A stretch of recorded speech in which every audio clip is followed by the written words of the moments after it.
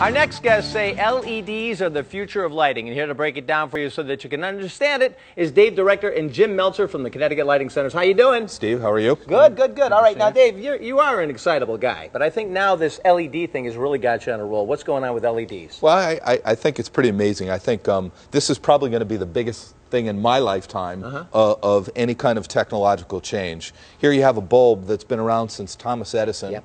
Um, and now you have an LED bulb that look just the same, Uh-huh. will perform um, 8 watts versus 60 watts. Tell me lifespan between these two, the old style versus the new style. So 50,000 hours versus 6 to 800 hours. six to eight hundred, fifty 50,000. thousand, And that's 50,000 running all the time. So basically, you're going to buy a light bulb in most households, and you're going to have that bulb for most of your life, or most of the time you're going to be in that home.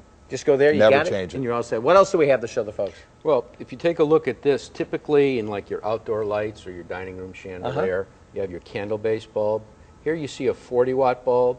Here you see a 2.1 watt bulb.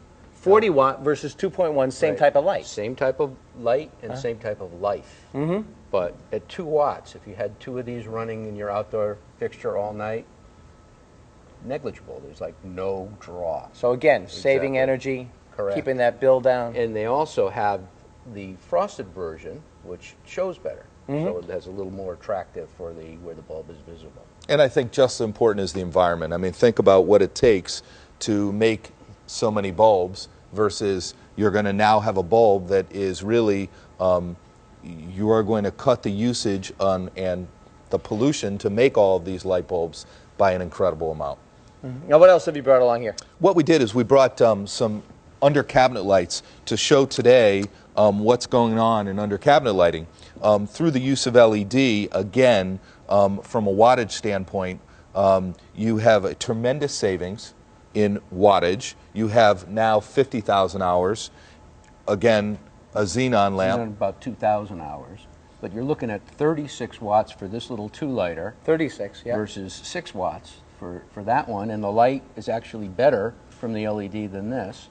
It's cooler, so you don't cook anything that's in your upper cabinets above the under cabinet Right. lighting anymore. Got to be a lot safer, too. And also, same thing. You come down in the morning and you went, oh, I left the lights on.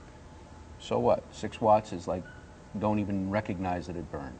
But again, something really important that we, we want to get across is that there's certain product today that is available in LED. There are other products that are on the market that we at Connecticut Lighting Centers won't support yet. Yeah. Um, the A lamp is a good example. Okay. We think that um, 60 to 90 days from today, that bulb will be available. You know, we're, we're um, in partners with companies who we believe in and that it's really important for us if we're going to have that bulb we want to be able to warranty that bulb through connecticut lighting. Not through a third party or, or feel good about what we're selling. We can do that in reflector bulbs bulbs that are used in recess lights. Okay. we can do that. In an a lamp today we think the price is too high.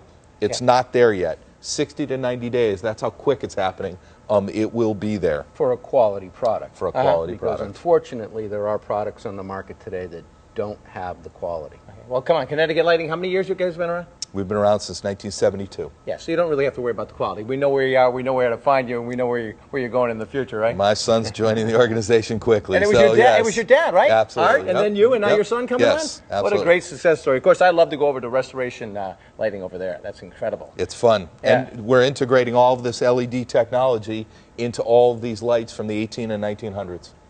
Now, what, what about as far as if you're trying to, to redo an old lamp? Can you put it in with today's technology? Absolutely. Yeah. And, and one of the other very neat things now, this has been on for a couple hours now. Yeah.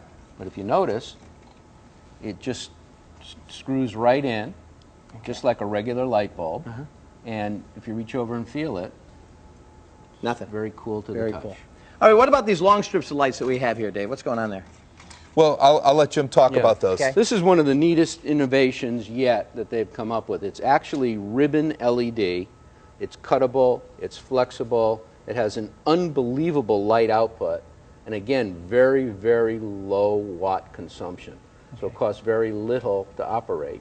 Gives off very even lighting and can be multitasked in so many Is this something like you'd wrap around your deck or something, Dave? You could, They it do can be make used an- yep. indoors, it can be used outdoors, and think about almost any application where you want to get light. It is so small, two-sided tape, Um, it's so small it can go anywhere, and that's the, the the beauty of LED is that you're taking microchip technology. So it's not the lighting; it's the lighting industry and microchips. And now all of a sudden you have light and and the efficiency of light, and we can put light anywhere we want. This is the beginning of the future of where lighting is going. All right, Dave.